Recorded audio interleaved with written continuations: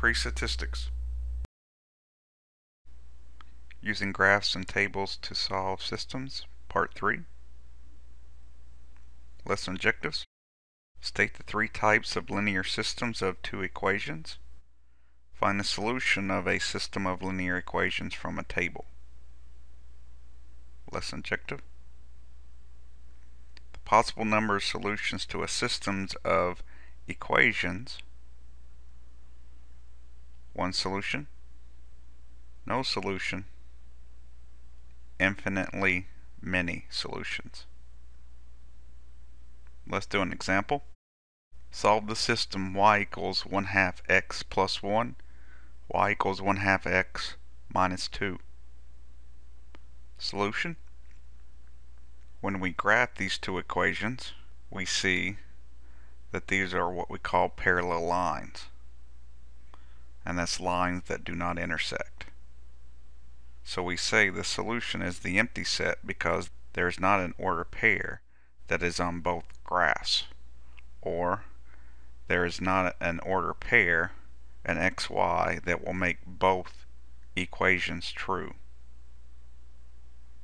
Definition A linear system whose solution set is the empty set is called an inconsistent system. Example 9. Solve the system y equals negative 2x minus 5 and negative 4x minus 2y equals 10. Solution. Our first step is to take the second equation and put it into y equals mx plus b form so we can graph it. So I have to solve for y.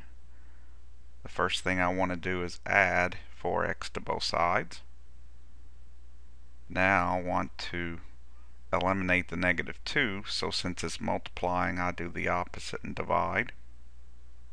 You have to remember that the negative 2 is dividing the whole expression, so both terms on the right hand side will be divided by negative 2. So we have y equals negative 2x minus 5.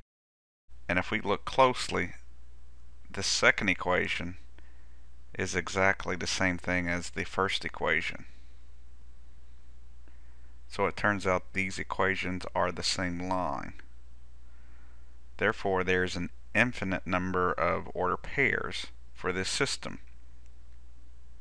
Because they are the same line, whatever point is on the first equation will be a point on the second equation. Definition a linear system with an infinite number of solutions is called a dependent system. So let's summarize. Three types of linear systems of two equations. One solution systems. The lines intersect at one point. Solution set of the system contains only the order pair that corresponds to that point inconsistent systems. The lines are parallel. The solution set of the system is the empty set. There is no solution. Dependent.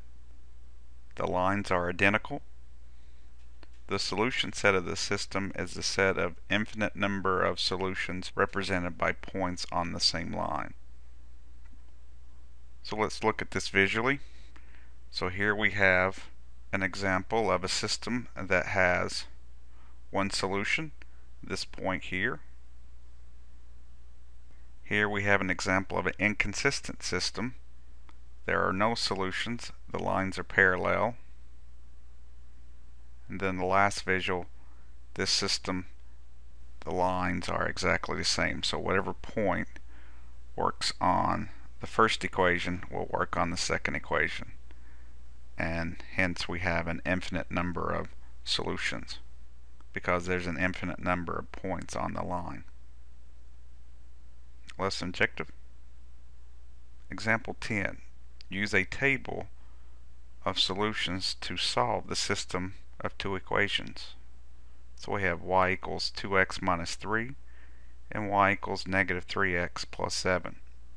So instead of graphing, we're going to look at the table for each equation and we see here are the outputs for these values of x for the first equation, y equals 2x minus 3. And here are the outputs for the same x's for the second equation, y equals negative 3x plus 7. And we see when x is 2, the y values are the same, 1. So that means 2, 1 is a solution to both equations because that point is on both graphs. That point, when x is 2 and y is 1, will make both equations true. So 2, 1 is a solution to the system. Example 11. Using example 7, verify the solution to the system by using the table feature of the graphing calculator. So if you recall, this is the model for women. This is the model for men. So using our graphing calculator, if we put the women in Y1 and the model for the men in Y2, and then we hit second and window which is table set we change to where the table will start at 77.76 and this is how much we count by and let's count by 0.01 instead of 1 and we see at 77.76 y1 and y2 have the same y value. And that is the only place in the table where y1 equals y2. The solution to this system would be when x is 77.76, y will be 85.695. Thanks for watching.